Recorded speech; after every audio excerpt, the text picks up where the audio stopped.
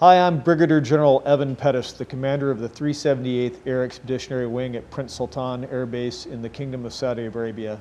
I'm here with Captain Brandon from the 77th Expeditionary Fighter Squadron, and Brandon's going to tell us a little bit about his unique story. He was one of the first 100 Air Force officers to go through Tactical Air Control Party or TACP officers training, and he was the first of those TACP officers to transition to being a fighter pilot flying the F-16. So Brennan, tell me a little bit about why you wanted to become a TACP.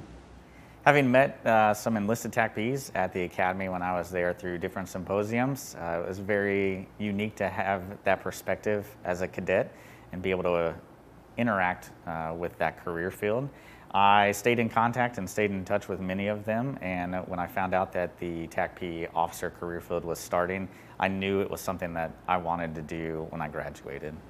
And we talk about this career field starting. It's not that we didn't have that function. It was in the past for officers in that field, they would tend to detour out of the cockpit usually as uh, flyers, uh, do the job for a couple of years maybe, sometimes longer, sometimes less, and then go back to the cockpit, which kind of left the that that function, that career field, with a, an episodic uh, officer corps.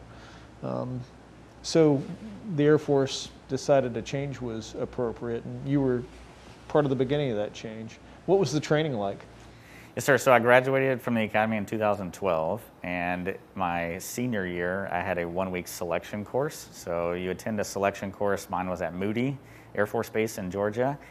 I was selected out of there uh, to attend the pipeline training. So after graduation, I went to my first assignment at Fort Drum in upstate New York with the 20th Air Support Operations Squadron. I was only there a couple weeks before I attended training down in Florida. It's about a six month uh, pipeline course where I go through training with my enlisted TACP counterparts. And uh, after graduation from there, we have additional follow on courses and assignments, and then we'll go back to our unit where we'll continue to train in order to deploy. Fantastic. And you did this for how long? So did this for about five and a half years. So graduated from the TACP schoolhouse with Hawk 9-1 in 2013 and then uh, left for pilot training in 2017. So, Brandon, what made you decide to make the transition from being a tactical air control party officer to the aviation world? Initially, I was my hope was to be able to have expertise in both career fields and be able to connect those two career fields uh, together. So by making that change and having the experience that I had with the tactical air control party and then now being on the fighter side, I thought that making that transition would be better for both career fields and being able to connect the two career fields together closer than ever before. Yeah.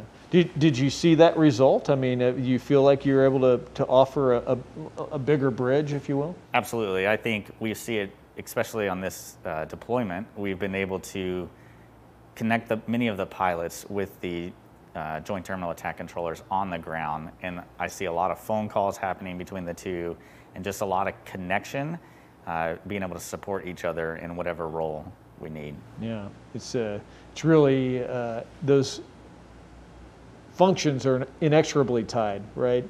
Uh, but uh, building those relationships is really important, helping the mission happen, and of course makes the training far more effective. Absolutely, and, and I think even more so, you're able to connect with a person on a, on a deeper level. And now, when you're supporting them wherever it may be, you feel that connection uh, with the guys on the ground and what they're going through. Would you say? I mean, I guess I'm, I'm putting words in your mouth. Let me let me rephrase that as a question. What's the most rewarding part uh, about the job? The most rewarding part for me is just being able to work with uh, many of my colleagues and friends uh, that I've been able to support on the ground, and and also being able to connect the fighter pilot community and especially the gamblers uh, with those guys that are that they're supporting. And the gamblers are your squadron. Absolutely, yes, sir. As we sign off, is there anything you want to say to the gamblers? Uh, for me, it'd be double down, and then to my TACP brothers, it would be the strong shall stand. All right, double down.